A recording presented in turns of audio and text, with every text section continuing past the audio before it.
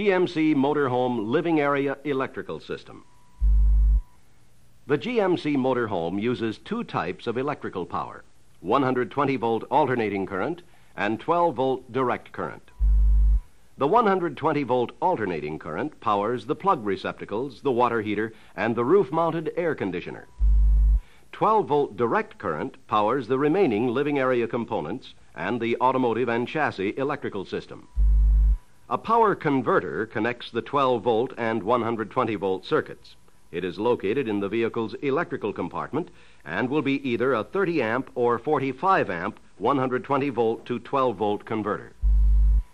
Three electrical sources can supply current to the motor home a living area battery, a motor generator, or an external electrical connection. The external connection can directly supply 120 volt current and supply 12 volt current through the converter. The motor generator can also supply 120 volt current directly and supply 12 volt current through the converter. The battery supplies 12 volt current only. In order to understand the motorhome's living area electrical system, you should know the path electricity travels from its source. Let's start at the external power connection. The motorhome's power cord has a four terminal plug. It is actually a split service cord since it contains two 120 volt circuits, each rated to carry 20 amps. The power cord is connected to circuit breakers inside the vehicle. When the cord is plugged in, 120 volt current travels from the plug to the circuit breakers and then to the water heater switch, roof air conditioner if the vehicle is equipped with one, and the 120 volt household circuits. The household circuits provide wall receptacles for kitchen appliances, TV sets, and so on. They also provide power for the operation of the optional built in vacuum cleaner. In addition, 120 volt current from the plug passes to the converter. The converter is located in the electrical compartment and plugged into the receptacle containing the water heater switch. Its function is to take a portion of the 120 volt alternating current and change it to 12 volt rectified or direct current to operate all of the 12 volt lights and appliances in the motor home. When the 12 volt source of supply changes from the living area battery to the converter and back again, no manual switching is involved. The 12 volt appliances and lights simply draw current from whatever source is available, battery or converter. The converter contains a transformer and rectifier and will also charge the living area battery. The converter has no moving parts and should remain plugged in at all times. Besides providing 12 volt current, the converter also charges the living area battery any time it is receiving 120 volt current. So, when the motorhome is parked and plugged into an external power source at a campsite, the external electrical connection is the source of supply for both 120 volt alternating current and 12 volt direct current components. As mentioned previously, the motor generator can also provide 120 volt alternating current to the 120 volt circuits and, through the converter, will supply 12 volt direct current throughout the living area. To obtain power from the motor generator, the external power cord must be plugged into the receptacle in the external utilities compartment. The motor generator then supplies 120 volt current to the power cord. From then on, the 120 volt alternating current generated by the motor generator behaves the same as when the motor home is at a campsite external hookup. The third source of electricity for the motor home is the batteries. One supplies power for the 12 volt electrical circuitry in the living area, another supplies 12 volt power to the automotive and chassis circuits, and the third provides cranking power for the motor generator. The living area battery provides 12 volt electricity if the motor home is not plugged into an external connection and if the motor generator is not running. When the battery is supplying electricity, current flows from the battery to the automotive type fuses located in the electrical compartment and on to the various 12 volt electrical components. Both the living area and automotive batteries are charged by the engine generator The living area battery can also be charged by the converter. The motor generator battery is charged by the motor generator.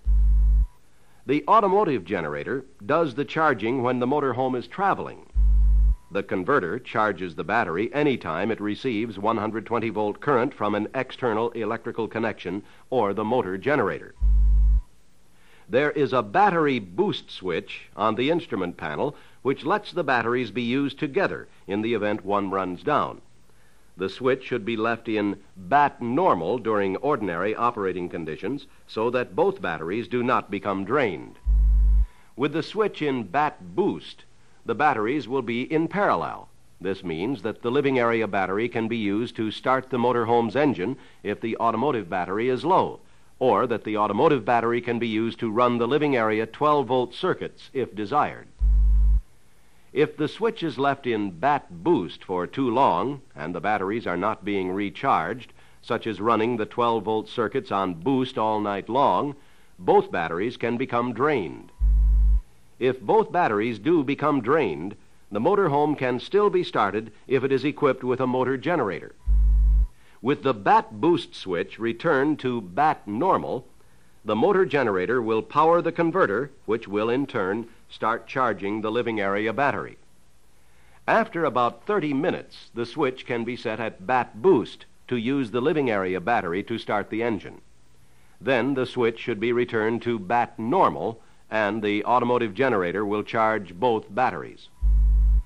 There is something else you should know about the batteries and the bat boost switch. The switch can operate when the automotive battery gets low, but will not operate if the automotive battery becomes completely discharged. The bat boost solenoid is activated by a slight charge from the automotive battery. If the battery has no charge, it cannot activate the solenoid. So to start the engine, you can use one of two methods either a jumper wire at the battery solenoid or a booster battery. You would use the first method if, for some reason, no booster battery were available. Use a 14 or 16 gauge wire and touch the ends of the wire to two posts at the battery solenoid.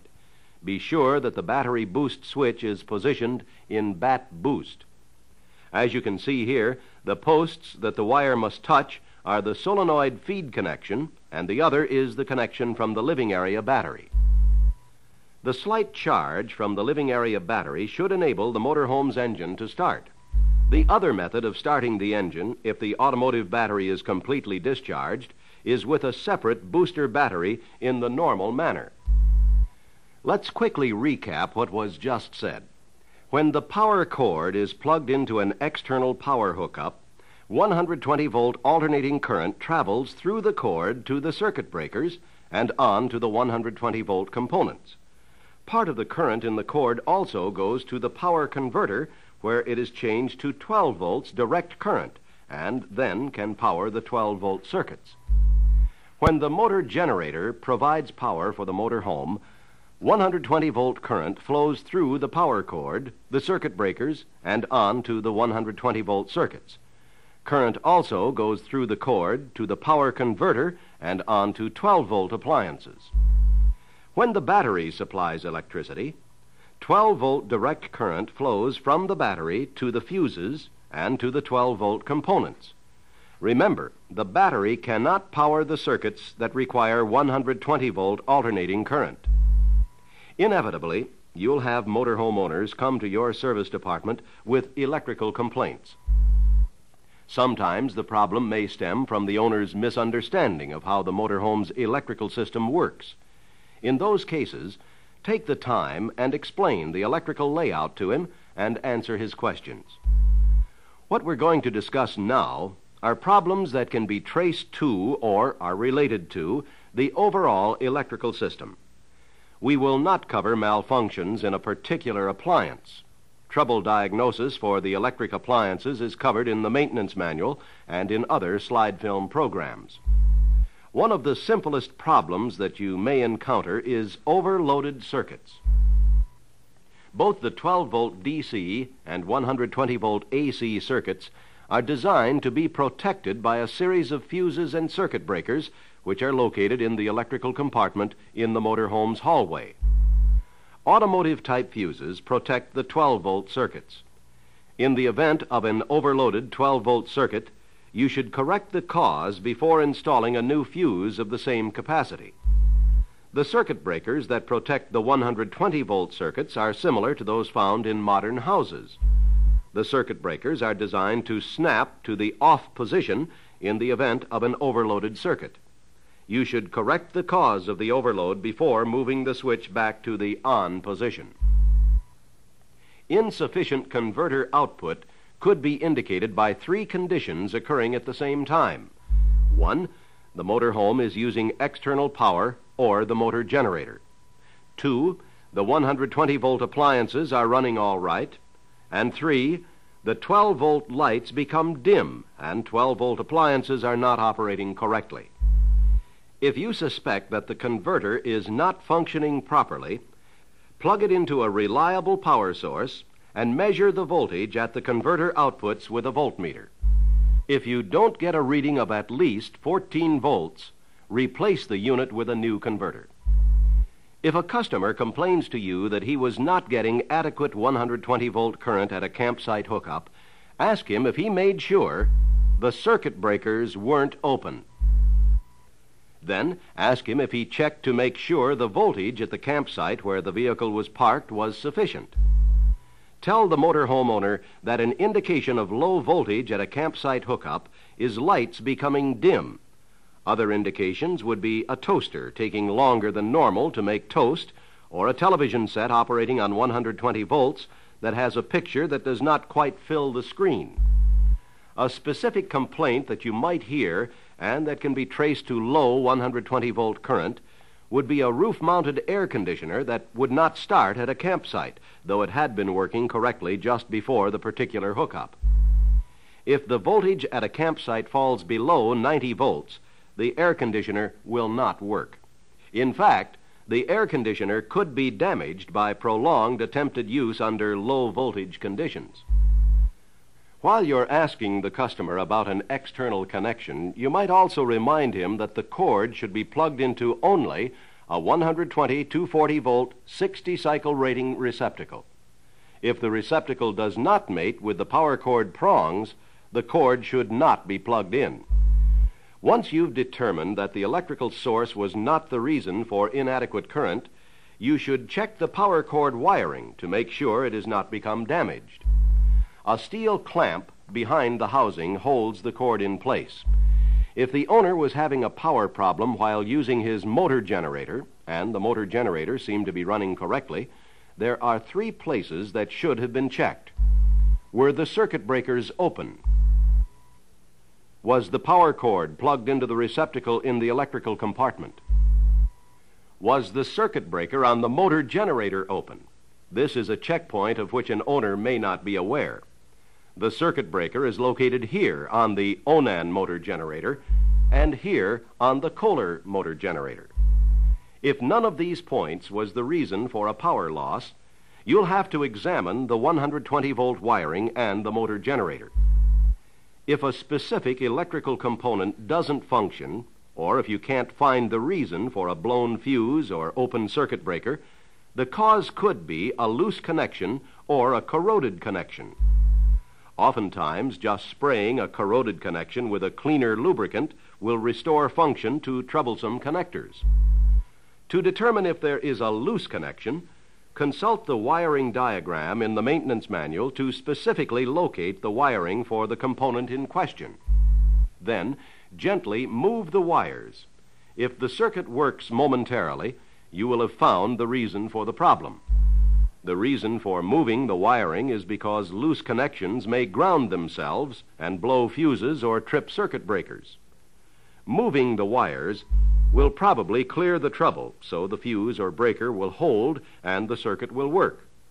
Moving the wires again may cause the trouble to return and thereby help you find the location of the loose wire. The most likely places to discover wiring faults are where connections are made. Although a lot of wiring runs within the walls of the motorhome, the connections are accessible. Therefore, you should seldom encounter a problem in an unexposed area. You should not have trouble diagnosing an electrical malfunction if you systematically follow the checks we have just covered. When you approach the motor home that needs servicing, first make sure fuses haven't blown or circuit breakers aren't open. Then determine whether the power source is at fault. Is there adequate battery output? Was there sufficient voltage at the external power cord? Is the motor generator producing the required voltage? And is the power converter output adequate? Next, inspect the wiring for corroded or loose connections. Finally, if you can't trace the reason for the problem to the electrical system, examine the component in question. There is no actual maintenance to perform on the motorhome's electrical system. However, you should inspect the electrical compartment when you service a vehicle to make sure there is proper airflow through and around the converter. The converter should not get wet and should be kept as clean as possible. If it becomes necessary to clean a converter, use dry compressed air. Battery maintenance is also important to proper electrical system operation. The fluid level in each battery should be checked regularly, and the battery, battery cable terminals, and battery hold-down brackets should be kept clean. A usually neglected area is the range hood fan. Accumulations of dirt and grease from cooking can cause the fan to become sluggish or inoperative, and the overloaded fan motor can cause fuses to blow. The air filter for the roof-mounted air conditioner must be kept clean for the same reason. A clogged filter can cause the fan motor to overwork and may in turn trip the circuit breaker. If you have any remaining questions concerning the living area electrical system, consult your GMC Motorhome Maintenance Manual.